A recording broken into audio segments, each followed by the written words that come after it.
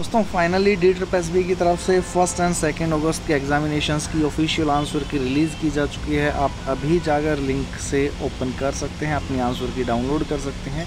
ये जो लिंक मैंने अभी अभी जस्ट मार्क किया है यहाँ पर, आप जैसे ही क्लिक करते हैं, आप रीडायरेक्ट कर दिए जाओगे ऑफिशियल आंसर की के लिंक पर।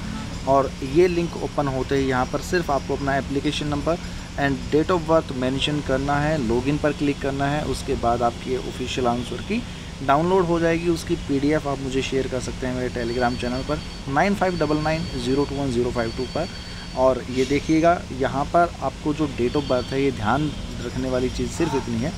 इसी फॉर्मेट में आपको अपनी डेट ऑफ़ बर्थ मेंशन करनी है। यहाँ पर ये जो ओब्लिक वाला साइन है, ये लगाना मत भूलिएगा। मिलता हूँ नेक्स्ट वीडियो में, तब तक के लिए ख्याल रखिए खुशी हो बाय टेक केयर